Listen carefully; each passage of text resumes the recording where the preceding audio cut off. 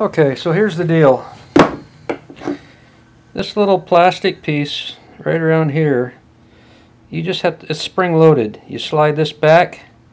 When you slide this back, you can turn this front part so that the, the connector is pointing straight up like this.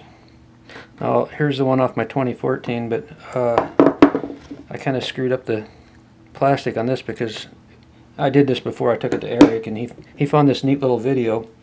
Uh, so this girl that that took this one apart in the video, she had these little rubber things she put on her fingers so she could get a good grip on it and just pull this back.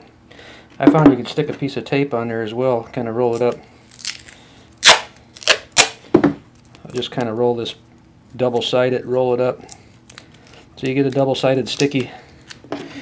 And you just kind of wrap that around this and you can slide this back just like that. And then turn this front piece just like that. See? That exposes this little lock pin right here. Now all you gotta do is push that little lock pin out. And you want to kind of keep some pressure on it so it doesn't it's spring loaded so when you pull that little lock pin out like I just did it's going to shoot this little motor right off the end. That's it. You pull that spring and that off. Now you got this little motor. That's all there is to it. Of course, there's going to be oil coming out of here as well. You've just opened up the valve. So, that's it. Later.